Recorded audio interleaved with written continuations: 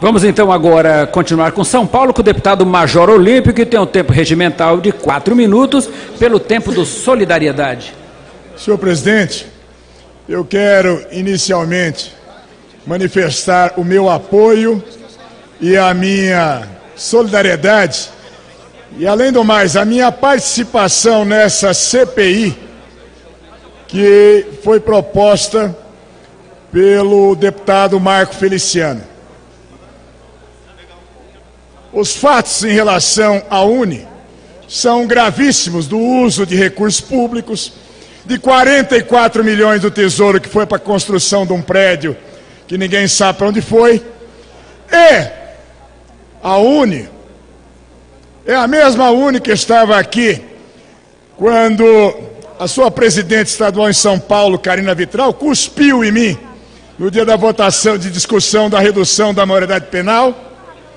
Ela, que é a loirinha que estava emoldurando o Lula no dia que teve a condução coercitiva, dizendo a juventude está com bandido e a juventude não está com bandido coisa nenhuma.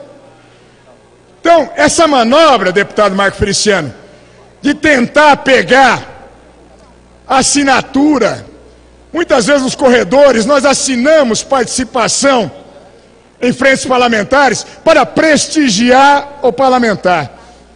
Numa CPI, é uma coisa muito mais séria. Então o parlamentar ele acaba se debruçando, verificando o conteúdo. Então, pelo amor de Deus, os parlamentares estão sendo ludibriados por alguns canalhas dizendo que são líderes estudantis pela retirada de assinaturas. Vamos respeitar a nossa assinatura e vamos abrir essa caixa preta da Uni também.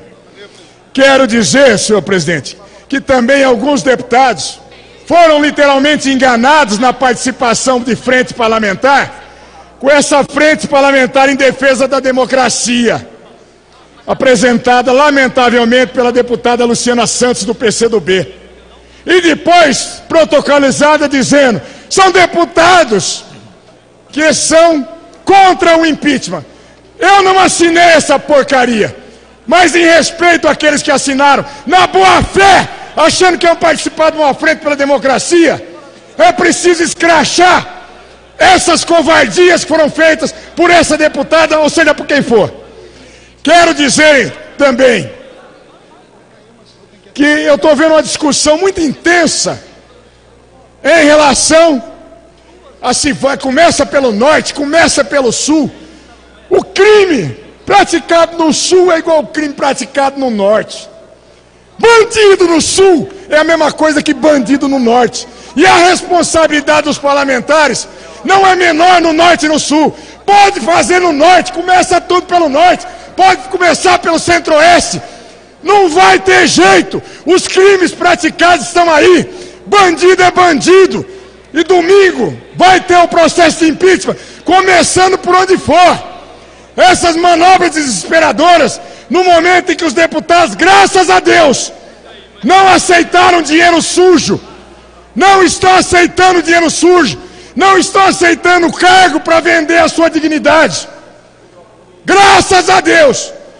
Então, que a direção da casa, que todos os partidos, a grande maioria, não se perturbe não. Quer fazer? Faz só uma fila para Dilma. Põe todos, vota todos e nós vamos ter mais de 370 votos do mesmo jeito. Não deu certo, praticou crime, fez coisa de bandido.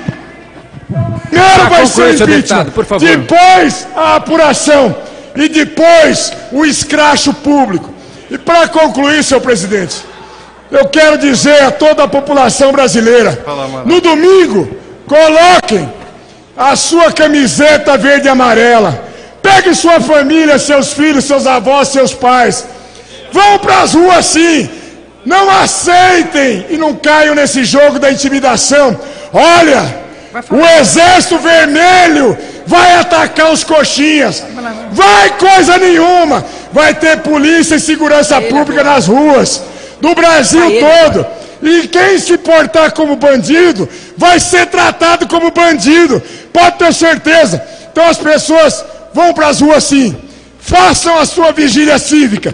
Pode ter certeza absoluta. Não tem exército vermelho, não tem foice e martelo, não tem. Nobre deputado, é, o deputado Major Olímpio, o tempo de Vossa Excelência esgotou-se. Já passaram três minutos, eu dei mais um minuto, portanto,